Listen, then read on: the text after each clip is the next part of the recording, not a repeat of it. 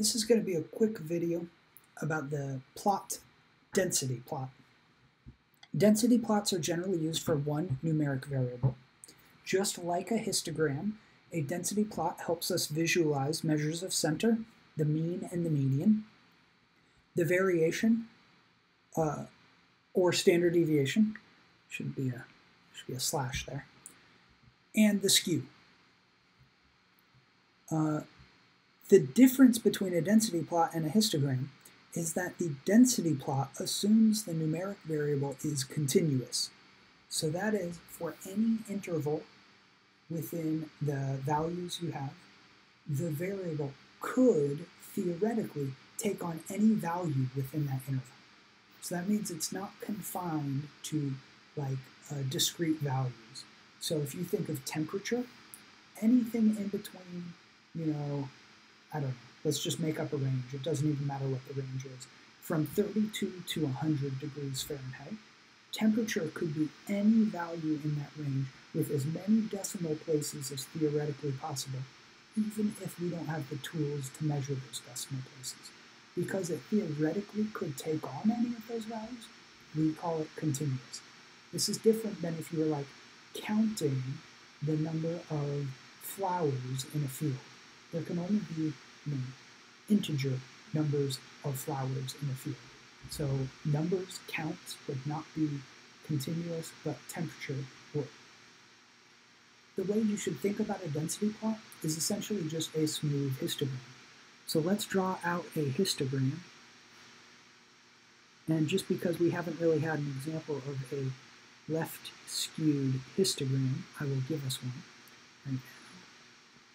So here is a histogram where all the numbers in whatever numeric variable we have have been binned. We have put into these bins of equal width the counts for however many data points we have within each bin. The density plot representation of that histogram would look like this we would still have whatever numeric variable is on the x-axis. It would be our numeric continuous variable. And we would essentially just have a smooth representation of all of those data.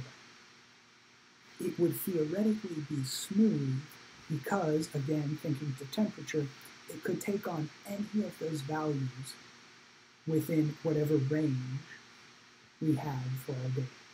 It doesn't have to take on those values. It only theoretically could take on those values. Now the difference on the y-axis is because it is a smooth curve now as a plot, you can't really have counts at any specific point because if you had a bunch of temperature measurements, theoretically it could take on any value within that range, but you certainly didn't get every value within that range.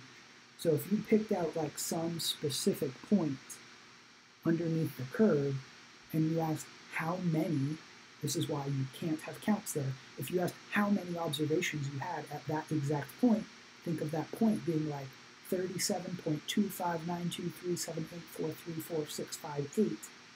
You'd have zero observations with that exact value. So you can't have counts on the y-axis because you won't have any counts for every single value within that range, even if theoretically the data could take on those values. So instead we have this representation of density that you should just think of as the higher, think over here, the higher the curve is, the more likely those numbers are to take to happen. And the lower the curve is, the less likely those numbers are to show up in your data set. So we're going to get same measures of uh, center, like mean and median. And in this case, we have a left skewed uh, density plot. So in this case, you should ask yourself, which is going to be smaller, the mean or the median? Okay, that was me pausing to give you a chance to answer. In this case, the mean is going to be smaller. Because the mean adds up all the numbers there are, these really small values over here on the left side of the plot, these really small values are going to pull the mean down to the left. But the median is robust to those potential outliers in the left tail. The median will not change value nearly as much. Okay, good. So that was a good rehearsal of mean, median, and the relationship based on the skew of the plot.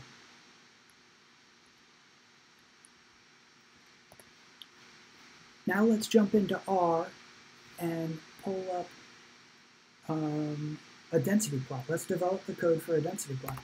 So we'll use the library ggplot2.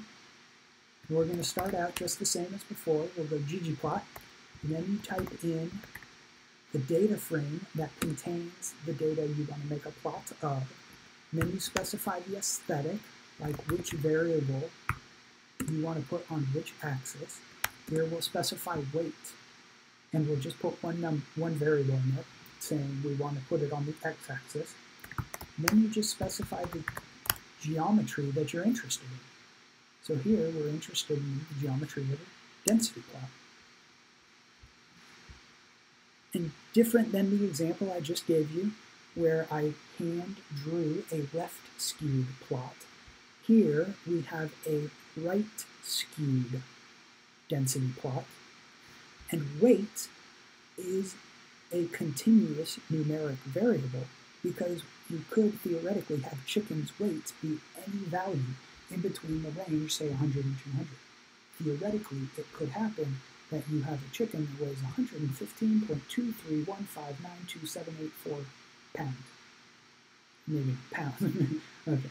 But anyway, whatever the units are there even if you didn't have any chickens with that specific weight, that is a theoretically possible weight for a chicken